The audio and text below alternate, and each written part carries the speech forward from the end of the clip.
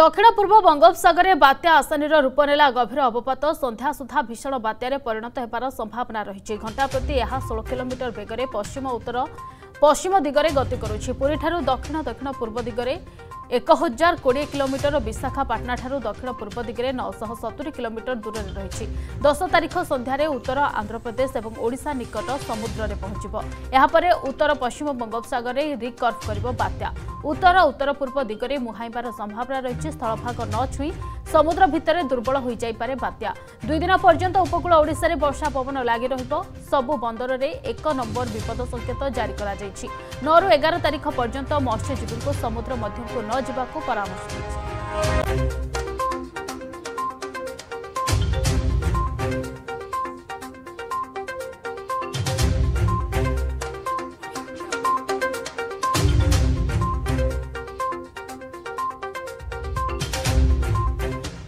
ଗତକାଲିର ଗଭୀର ଅବବାଦ ଥିଲା। ତାହା ଆଜି ସକାଳ ସମୟରେ ଘନୀଭୂତ ହୋଇ ବର୍ତ୍ତମାନ ସାମୁଦ୍ରିକ ଝଡ଼ ବା ବାତ୍ୟାରେ ରୂପ ନେଇଛି। ଏଇ ଯେଉଁ ବାତ୍ୟାର ନାଁ ରହିଛି ଅସାନି ରହିଛି ତାର ଯେଉଁଟାକି ଆମର ଶ୍ରୀଲଙ୍କା ତରଫରୁ ନାମକରଣ କରାଯାଇଛି ଏବଂ ତାର ଅର୍ଥ ହେଉଛି କ୍ରୋଧ। ବର୍ତ୍ତମାନ ଯେଉଁ ରହୁଛି ତାର ଗତି ଯେଉଁ ରହୁଛି ମୁଖ୍ୟତଃ ଉତ୍ତର ପଶ୍ଚିମ ଦିଗରେ ପାଖାପାଖି ଷୋହଳ କିଲୋମିଟର ବେଗରେ ଏହା ଗତି କରୁଛି ଏବଂ ଦକ୍ଷିଣ ପୂର୍ବ ବଙ୍ଗୋପସାଗରରେ ଆମର ବର୍ତ୍ତମାନ କେନ୍ଦ୍ରୀଭୂତ ଅଛି। ଆମେ ଯଦି ଦେଖିବା ପାଖାପାଖି ବିଶାଖାପଟ୍ଟନମ ଠାରୁ ନଅଶହ ସତୁରି କିଲୋମିଟର ଦୂରରେ ଦକ୍ଷିଣ ପୂର୍ବ ଦିଗରେ ଏହା କେନ୍ଦ୍ରୀଭୂତ ଅଛି। ପୁରୀଠାରୁ ପାଖାପାଖି ହଜାରେ କୋଡ଼ିଏ କିଲୋମିଟର ଦକ୍ଷିଣ ଦକ୍ଷିଣ ପୂର୍ବ ଦିଗରେ ଏହା କେନ୍ଦ୍ରୀଭୂତ ଅଛି ଏବଂ ଏଇ ଯେଉଁ ଗତିର ଦିଗ ରହୁଛି ଯେଉଁଟାକି ଉତ୍ତର ପଶ୍ଚିମ ଦିଗରେ ଏହା ଗତି ବଜାୟ ରଖିବ ଦଶ ତାରିଖ ସନ୍ଧ୍ୟା ପର୍ଯ୍ୟନ୍ତ। ଏବଂ ଆମର ଯାହା ଅନୁମାନ ରହୁଛି ଆଗାମୀ ଚବିଶ ଘଣ୍ଟା ଭିତରେ ଏହା ଆହୁରି ଘନୀଭୂତ ହେବ। ଏବଂ ଘନୀଭୂତ ହୋଇ ଗୋଟିଏ ଭୀଷଣ ବାତ୍ୟା ବା ସିଭିଅର ସାଇକ୍ଲୋନିକ ଷ୍ଟର୍ମରେ ପରିଣତ ହେବାର ସମ୍ଭାବନା ରହୁଛି।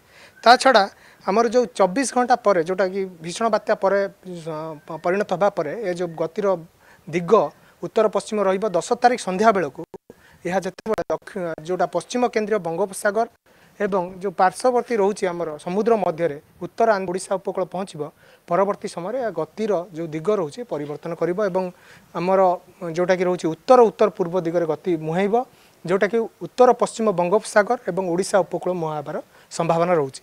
ତା ଛଡ଼ା ବର୍ତ୍ତମାନ ଯେଉଁ ବର୍ଷାର ପ୍ରଭାବ ରହୁଛି ଆମର ଯେଉଁ ଯେଉଁ ସମ୍ଭାବ୍ୟ ବାତ୍ୟା ରହିବ ତା ଯେଉଁ ସମ୍ଭାବ୍ୟ ଭୀଷଣ ବାତ୍ୟା ରହୁଛି ଏବଂ ତା ପ୍ରଭାବରେ ବର୍ଷା ଆମର ଦଶ ତାରିଖ ସନ୍ଧ୍ୟା ପରଠାରୁ ଆମର ଓଡ଼ିଶାର ଉପକୂଳବର୍ତ୍ତୀ ଜିଲ୍ଲାଗୁଡ଼ିକରେ କିଛି କିଛି ଅନେକ ସ୍ଥାନରେ ହାଲୁକାରୁ ମଧ୍ୟମ ଧରଣ ବର୍ଷା ରହିବ ଯେଉଁଟାକି ଦଶ ତାରିଖ ସନ୍ଧ୍ୟାରୁ ଆରମ୍ଭ ହେବ ଏଗାର ତାରିଖ କଣ୍ଟିନ୍ୟୁ କରିବ ଏବଂ ବାର ତାରିଖ ସକାଳେ ମଧ୍ୟ କିଛି ଜିଲ୍ଲାରେ ଆପଣଙ୍କ ସମ୍ଭାବନା ରହୁଛି।